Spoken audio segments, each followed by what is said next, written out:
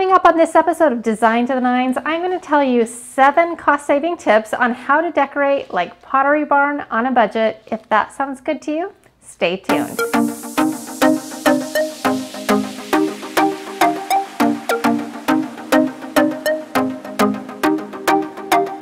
Welcome to Design to the Nines. I'm Natalee Callahan, and if this is the first time we're meeting and you enjoy home decor and DIY videos, then I'd ask you to consider subscribing to my channel below and turning the notifications on because I bring you weekly videos on these topics. Oh, Pottery Barn, how do I love thee? Let me count the ways. I don't know about you, but Every time I get a Pottery Barn catalog in the mail, it is like Christmas morning. I just love it. It's filled with beautiful ideas and inspirations. I think the reason that most people really have a love affair for Pottery Barn is because it is classic, it's timeless. You know that if you buy something from Pottery Barn, 10 years down the road, it's still gonna be in style, it's still gonna be classic. And it also has this very inviting and comfortable feel. Having said that, I know that Pottery Barn can be out of a lot of people's budgets. So what I'm doing today is I've compiled my seven tips on how to decorate like Pottery Barn on a budget. I've got some great cost saving tips for you that are gonna help you get that classic comfortable, wonderful Pottery Barn look that we see in the magazines. You don't need to take notes. I compiled a printable and stay with me to the very end and I will tell you where to get this printable with all of my cost saving tips. All right, tip number one. When you think of Pottery Barn, you need to think clean yet comfortable. Now, My house is not 100% clean all the time. I have kids, I have a family, we're busy, and I got the best piece of advice a long time ago. That Somebody said to me, if your house always looks like a picture out of Pottery Barn magazine, then there a happy family does not reside. One thing that is true with Pottery Barn is it has a very comfortable and relaxed feel. You feel like you can cozy up with a blanket and a book and just and just feel so comfortable. And that is definitely something that you want to strive for is a home that is clean yet very inviting and very welcoming to your guests, to your family, to your friends, and free of like cluttered corners and stuff. I am super guilty of this at times. Definitely I need like Marie Kondo, Marie I can't remember Let me know in the comment section if you know who I'm talking about. You know, you know who I'm talking about. I need her to come to my house and help me out. Okay, point number two, texturize. Texture adds so much interest, adds so much dimension, and it really adds to that um, inviting, comfortable feel. Pottery Barn does this with baskets. They do it with glass and metal and florals and throws and pillows. If you've got something smooth, you want something a little bit more rough with a little bit more texture, you can do this with patterns. So play around. I've got some really good videos on how to select fabrics for your houses. I'll put the link up there as well below. So to save money on textures, shop places like Marshall's, TJ Maxx and Home Goods and, and Target you can really beef up your texture without spending a lot of money on that. Which brings me to my third point, neutralize. Pottery Barn is infamous for having really neutral and muted tones. Um, they do little pops of color here and there, but they definitely have muted tones, muted palettes, especially in their large scale pieces. So if you're shopping somewhere other than Pottery Barn, you're gonna wanna make sure you buy solid colored large scale items in like whites and creams and taupes and beiges, muted tones. You know, of course, they bring in their le leather club chairs. They have some leather sofas and things like that. So keep that in mind if you're shopping um, some discount places. Any punches of color should come by way of accessories, including like pillows and artwork and florals and things like that. So they have neutral walls. Here are a couple of my favorite Pottery Barn paint colors. I will also put the names in the description below. These ones are fantastic, but the Pottery Barn paint palette is very limited and they put a lot of time, energy, and effort into picking very tasteful colors that you can almost not mess up. So I highly suggest that when trying to pull off that Pottery Barn look is to pick paint colors, take them to your local home improvement store. So what I really love about Pottery Barn's um, catalogs is when you go through and you're looking at these pictures, you can find really interesting objects and items um, including like some really cool looking pottery and some really cool accessories, which brings me to my next point.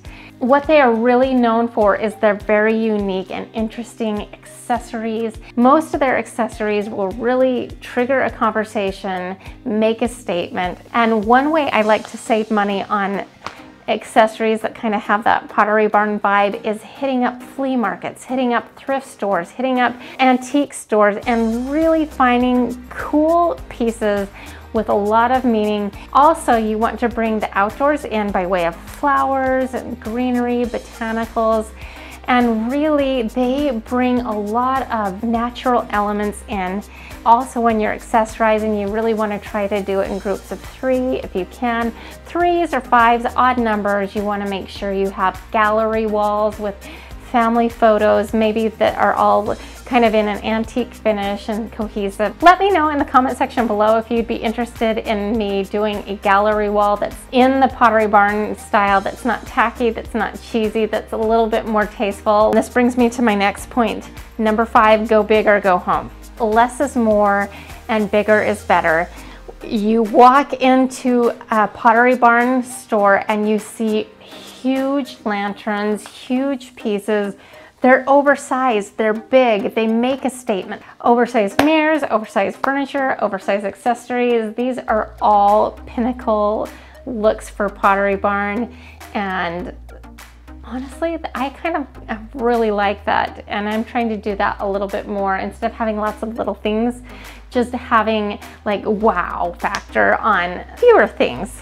So keep that in mind. Now this would not be a Design to the Nines tutorial if I didn't talk about my sixth point, knock it off. Now I have a whole host of knockoff videos and I've knocked off a ton of Pottery Barn items at Ballard Designs, Williams Sonoma, and you can be assured that there will be more to come. What I think is really important when um, doing a knockoff though, and you'll notice that my knockoffs are not always like the cheapest you could probably go out there and find some less expensive Pottery Barn um, knockoffs. I always try to do my knockoffs as inexpensively as I possibly can while still maintaining a level of quality. Because when it comes to Pottery Barn there is a feeling of quality um, it's nice so knock off some of the accessories. I've got a ton of tutorials and I will link them up here as well as putting them in the description box below my last tutorial. I It's not a Pottery Barn item, it was a Ballard Design item, but I used tuna cans. I mean, but you would never know. So you get creative, think outside the box while still making sure that it's something that you're gonna wanna have around for a while, that if you're gonna invest the amount of time and money into it, I'd rather spend a little bit more and have something that's gonna stand the test of time rather than doing something really cheaply that's just gonna end up in the trash. So that's my suggestion when it comes to knocking off accessories. Because Pottery Barn is such a timeless classic look, and because everybody wants to be like them. There are some knockoff furniture out there. In fact, in my home in Maine, we have a couple of sofas that really look like a Pottery Barn item. Uh, they aren't. I got them on, I got them secondhand on Facebook Marketplace. I think I spent $100 on the couch and $50 in the love seat.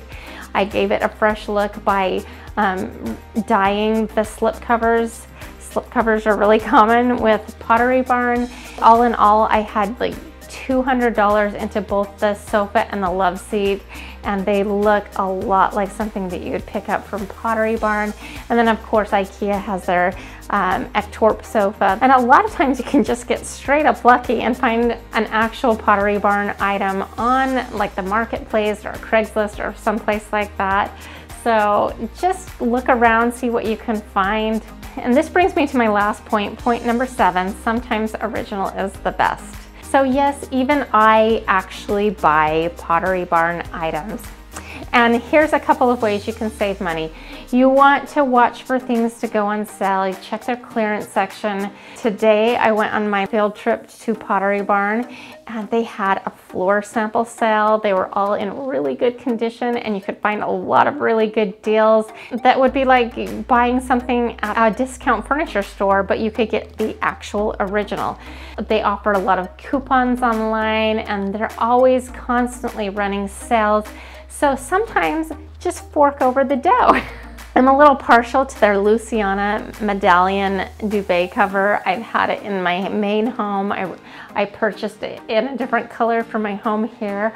I'm not gonna show you that today because that's gonna be coming up in future episodes very soon. I'm gonna be working on my master bedrooms. But yeah, there's ways to save money. I, I you can score really amazing deals. You just gotta keep your eyes open. Sometimes working over the extra dough is worth it because it's going to last you longer. It's going to be quality. It's something that you really love. So why not treat yourself?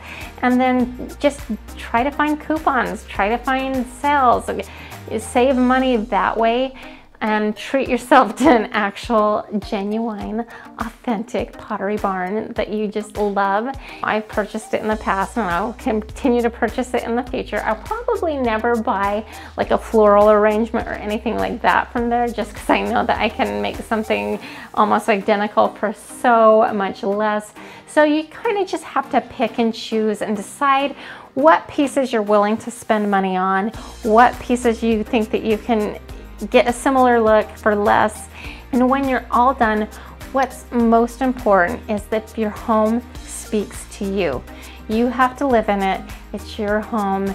All right, so that's it for these tips this time, but you're gonna wanna stay tuned because I've got a whole bunch of projects coming up and a lot of them will continue to be knockoffs of Pottery Barn. Imitation, they say, is the best form of flattery, right? and so we'll continue to do great knockoffs. All right, now as promised, the printable for this, I'm gonna provide the link below in the description box. It just goes kind of over the ideas that we talked about. Um, if you have any questions or you want me to make a specific tutorial on a Pottery Barn item or another topic, let me know in the comment section below. Always looking for great ideas for videos for you. Thank you so much for watching. Here's a video that I think you'll like and one that YouTube suggests, so make sure you check those out. And hopefully I'll see you again next week, so see you soon.